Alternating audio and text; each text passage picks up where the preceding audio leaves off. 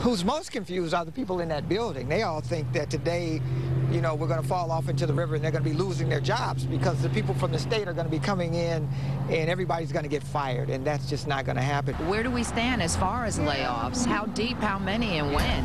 Even no, I, I don't. I don't see wholesale layoffs. I see even the negotiations with the union. I see the work rule changes being more of an issue than taking cuts. But those are fighting words for the coalition of city unions, now being joined by police and fire.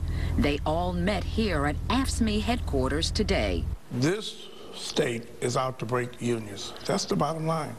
Uh, for them, for the city council to turn down a deal that guaranteed money, to go to a deal that doesn't guarantee any money, and the only thing it does is add to the city's deficit, is just unbelievable just unbelievable and outrageous. The citizens ought to be outraged. Despite the many past, present, and future court filings, there are several things the City Council, the Mayor's Office, and the state must begin to do immediately. We've got a lot of requirements that are in that agreement.